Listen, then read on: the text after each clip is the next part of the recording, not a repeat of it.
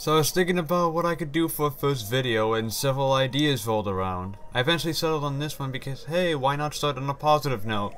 It's not like the bad stuff is going anywhere. So, Akira, it's amazing. But you should know that as an anime fan. Hell, you should know that as a fan of media in general.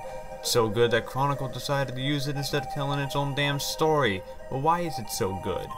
Well, the answer isn't actually that simple. In fact, it comes down to many elements that all work together. So let's get the obvious stuff out of the way first. Number one, the animation.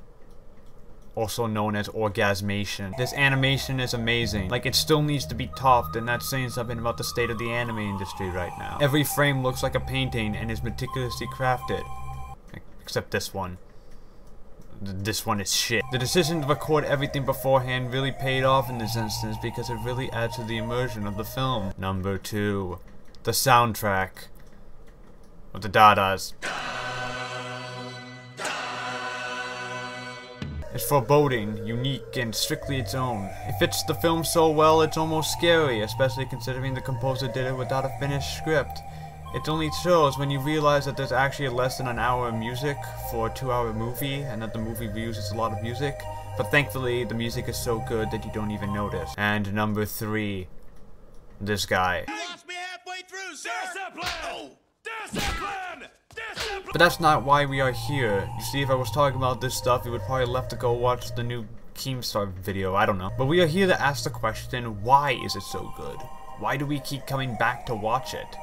I don't know, you tell me, you lazy otaku. Let's find out together and see what makes this movie tick. First, a lesson in filmmaking. There's a rule known as show don't tell. This rule applies to all things in media from literature to video games, but filmmaking especially because film is a visual medium. Instead of telling us that something happened or a character is supposed to act like this, show us that we can see it on screen.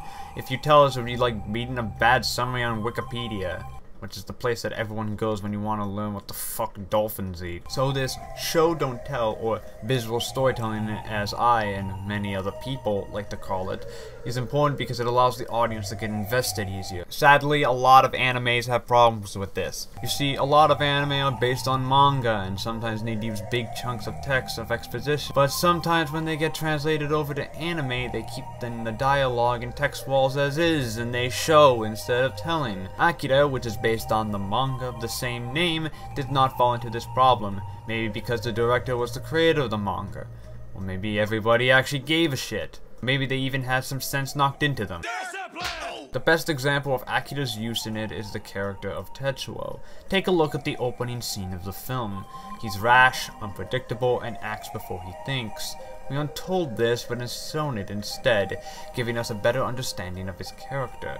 This also foreshadows much of his turn, seeing as much of his actions are due to him without thinking first, including going after Akira. Uh, he's the one? He's the one who's been invading my head all along!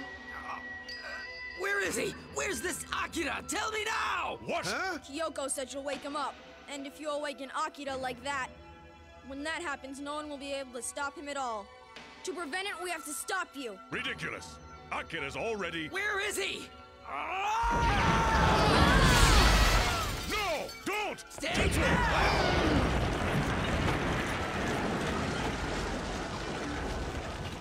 This also extends to Akira's backstory. His story is told through visuals without any dialogue, but we get the gist of what's happening because, well, the movie is showing us instead of telling us that he was like this when he was a kid. Look how happy he is!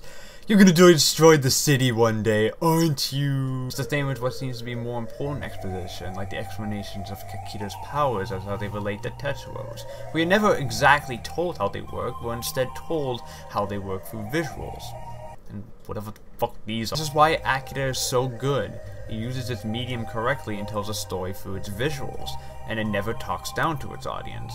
I know a lot of people who think Akira is really confusing and things just happen for no reason, but if you rewatch it, you start to notice things that you may have not noticed beforehand. It's this type of rewatchability that makes it a great film, and it's also shit like this.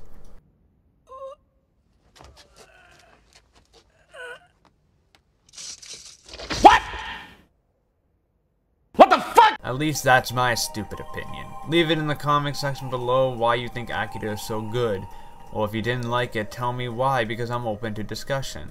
And by discussion, I mean you're wrong and I'm right. My name is LegionWrex, and I'm gonna stay here and watch Akira again. We.